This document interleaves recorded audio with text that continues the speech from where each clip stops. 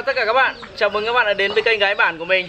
À, Hôm trước thì trên chuyến hành trình mình đi uh, du lịch ở trên uh, Sapa.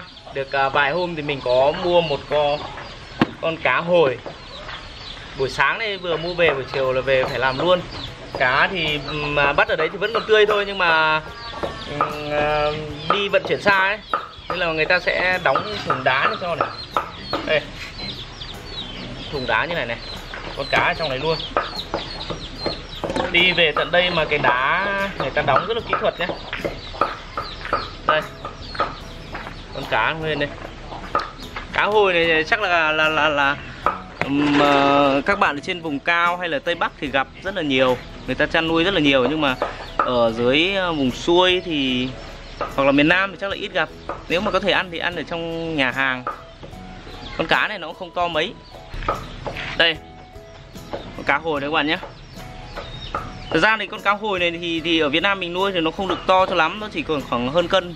Khoảng như thế này là là con to rồi đấy Mình bắt con to nhất ở trên đấy là được một, khoảng một cân cân rưỡi. Đấy, ở trên đấy thì vẫn còn tươi nguyên. Thì người ta cắt tiết Xong cho vào cái hộp này. Đây này, cá vẫn còn nguyên si nhá, chưa tan tí nào. Người ta đóng gói rất là kỹ thuật. Để về mình ăn.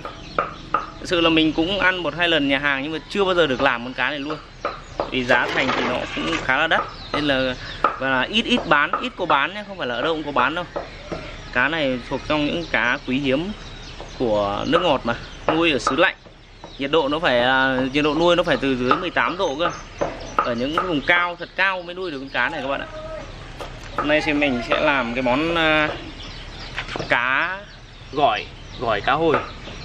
Xin mời các bạn à, theo dõi video nhé Đấy sau khi mà lấy ở trong thùng, thùng uh, ờ, xốp mà ướp đá ra thì các bạn là cho nó dã dã dã đá. Thực ra là nó cũng không đông đá đâu Nó chỉ lạnh thôi nhé Chúng ta cho ra một chút rồi chúng ta sẽ rửa sạch đi.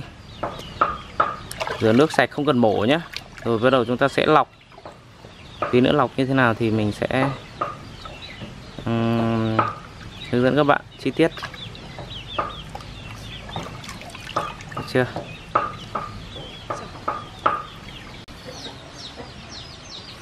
Đây trước khi mà lọc ấy thì chúng ta sẽ dùng rẻ nhé. Rẻ hoặc là giấy. Lau khô hết cái thân con cá đi. Cái um, cái vảy này chúng ta không phải không phải dốc nhá. Tại vì chúng ta không để lấy cái vảy này à, lấy cái da của con cá này được. Thì chúng ta phải lột da mà. Đấy và bây giờ thì lọc thôi.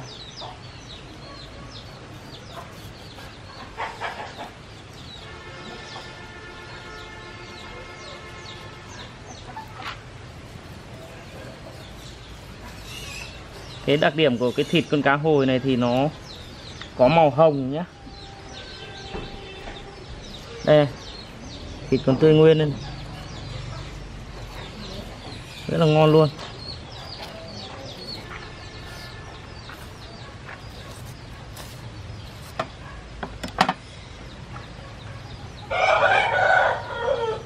Đây lọc được một à, nửa đây cái thịt của con cá, đặc điểm một thịt con cá hồi thì các bạn biết rồi đấy.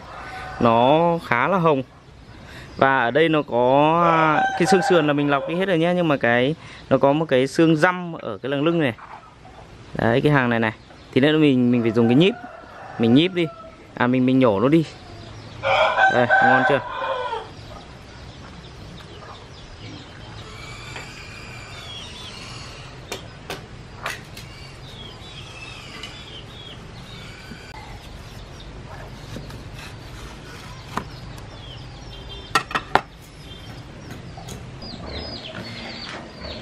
Đây này cái miếng ờ, thịt cá là chúng ta sau khi mà à, tấm ướt bằng giấy thì à, nếu mà muốn kỹ hơn một chút thì chúng ta dùng cái à, rẻ à, cái cái cái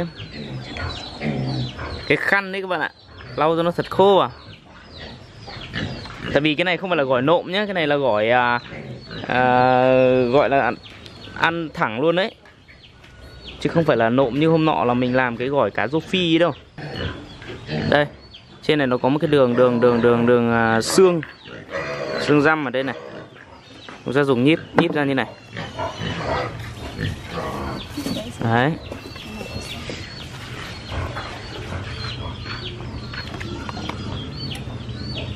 Trang ơi. Trang ơi.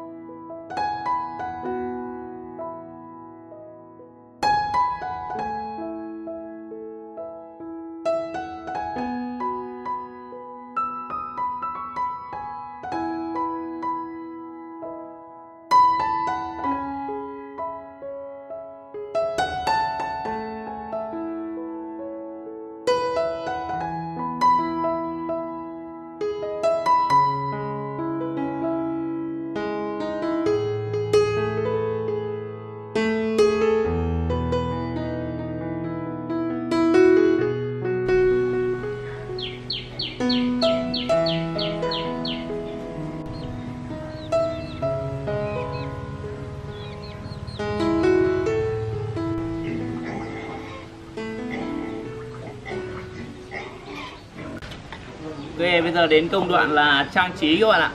May trổ tài à, trang trí một tí xem nó ra cái gì. Tiến vào gần đây cho các bạn xem.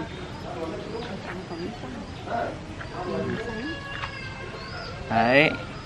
Thực ra thì nhà hàng nó à, Nhà hàng thì à, các cao thủ đầu bếp thì làm bao giờ cũng sẽ là chuyên nghiệp hơn. Mình thì làm gọi là canh nhà lá vườn làm chơi chơi thôi làm chơi chơi rồi không biết là nó ra nó có ra cái hình gì không nha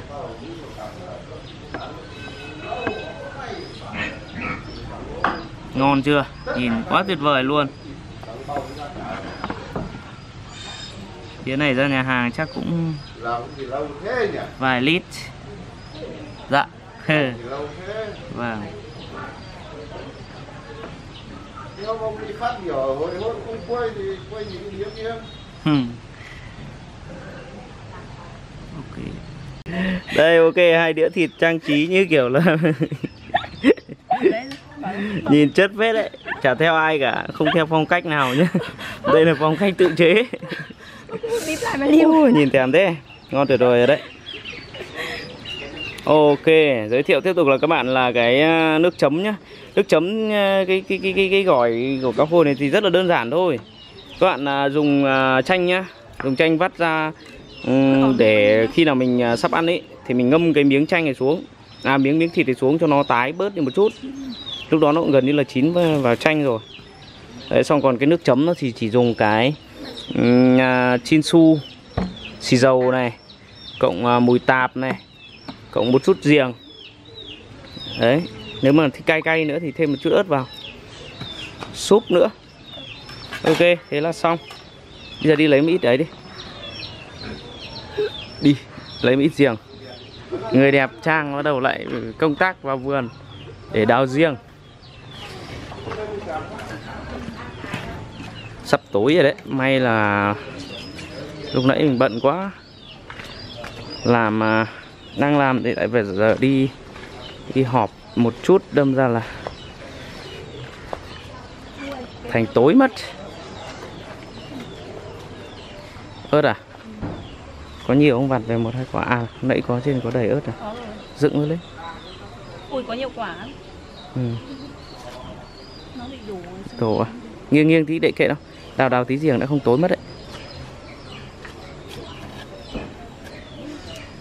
Tối quá nhỉ?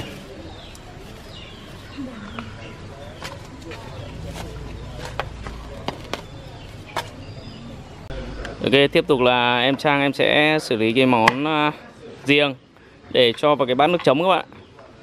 Cái à, củ riềng này thì à, các bạn nên à, thái chỉ ra.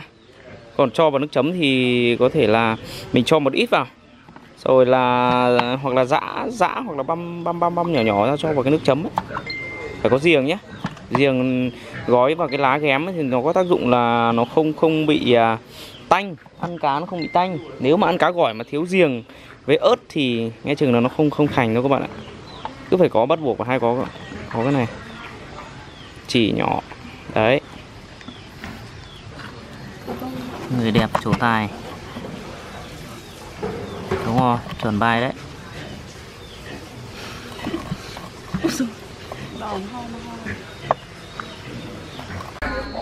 Đây các bạn này hôm nay có các cô gái bạn à, chuẩn bị làm cái món à, chấm à, gì ý nhỉ? Hôm nay không ăn cơm hôm nay ăn phở cuốn rồi. Hôm nay em Hải sẽ đạo diễn cái món à, nước chấm à, phở cuốn nhé. Thành phần gì người đẹp? Tỏi với ớt xong là tí mình làm nước à, mắm đường. Ừ. còn bên này em Trang đang à, đạo diễn cái món à, à đâu? Hoa quả. Đây lúc nãy tôi vừa mới chế biến cái à, cái nước chấm à, cá gỏi này nhá. Tôi làm đơn giản lắm chả biết các bác là làm nào. Tôi chỉ có xì dầu này ớt này chanh này à, riềng này và thêm một ít tỏi. Em ạ trích xuống đây cho mỗi em mỗi bát một ít cho anh. Đây nay ăn toàn phở cuốn thôi đâm ra là có nước nóng không? Hả? Có nước sôi không? Có nước phích cái sao ấy em? Có đường không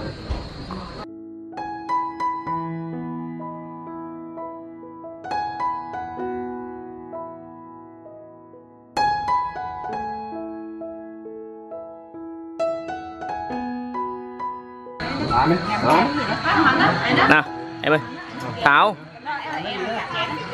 chạm rồi à? Chúc mừng chúc mừng Rồi, nào cảm ơn, cảm ơn.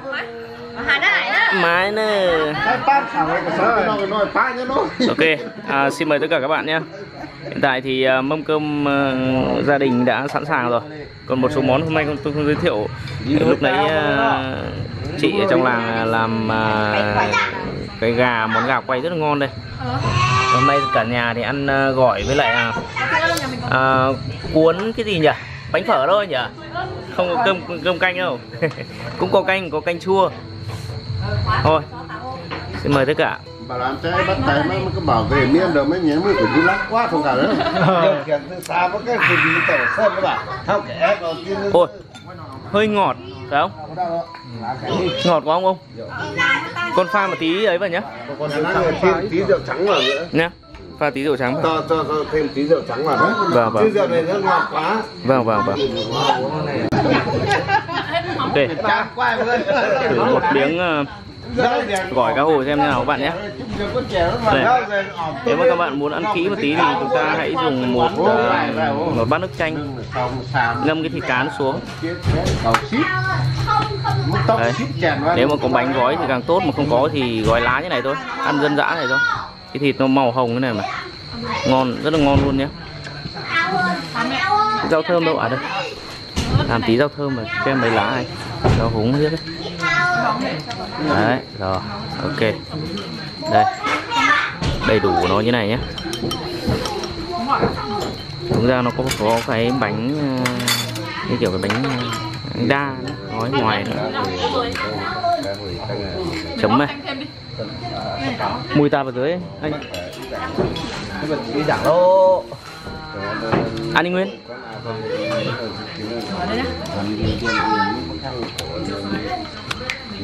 ừ. bao tiêu đánh quay phim phải phải mua hao tức là kẻ sửa kín cơ nó kiểu nó sống lại nó kiểu lại thủ dân nữa rồi đúng rồi ý là hả bảo kẻ sửa không được chuẩn cuốn đó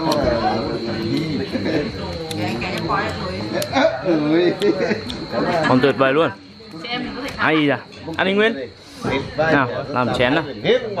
Ngon mà ngon gỏi phải uống rượu. Đúng rồi gỏi là phải uống rượu. uống bia nó cũng hợp đâu. anh. Anh bên trên Uống rồi. rượu nhá. Uống rồi. Uống giá uống uống chưa rồi. Ừ. Ờ, uống mà không gọi mà con cạnh rồi chẳng qua xa quá ờ, cái gì đã bảo là bấm điều khiển xa ừ. Vân tay thảo không tí nào à? Ăn hoãn rồi Ây da ngon quá. Nào không có Ờ, hiện tại thì à, em tôi đã bắt đầu vào cuộc à, được một lúc rồi. Bây giờ có khi là mình cũng à, xin phép kết thúc video tại đây nhé. Bí món gỏi có hồi cả nó là tuyệt đỉnh luôn. À, nếu mà các bạn lên tây bắc thì nhớ ghé là làm một con. Nó như ví dụ như con mình mua này khoảng độ 5 lít thôi đấy mang về làm quà. à, vui chơi cùng gia đình. ăn tuyệt vời đấy không phải đơn giản đâu. Ngon phết đấy. Xin chào và hẹn gặp lại à, tất cả quý vị và các bạn à, trong những à, tập phim lần sau nhé. Tôi à, anh em tôi bắt đầu nhập cuộc đây. Tiêu chuyển đến sang nhau nhá.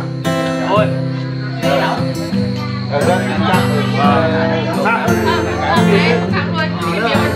ở đây thấy cỏ nó nhiều lên đó.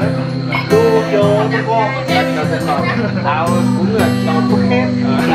Đây đồng con ơi. Được bắt đây lúc lúc. Điều ta đây cũng là em. Túi